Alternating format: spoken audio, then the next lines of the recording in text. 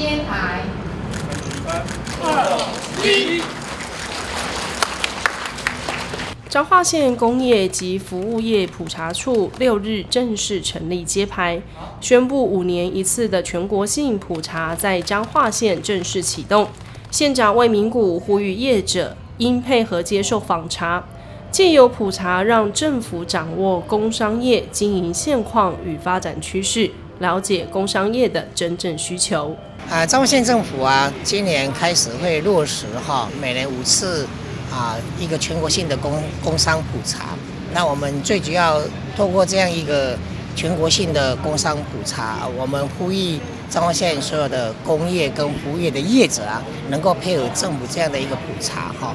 那普查的过程之中啊，我们所所所所得到的数据啊，不会作为课税的依据哈，也不会啊啊说哎，不会作为其他啊。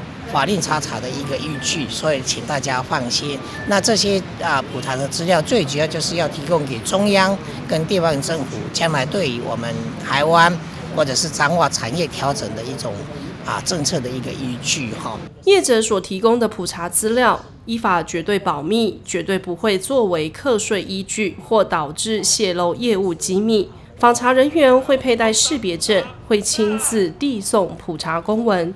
不会泄露资料，不会询问普查表以外资料，不会要求提供账户或存折，绝对遵守二会三不的工作原则。请业者放心配合接受访问，详实填写资料。如有疑虑，也可以直接打电话到县政府或各公所查询确认。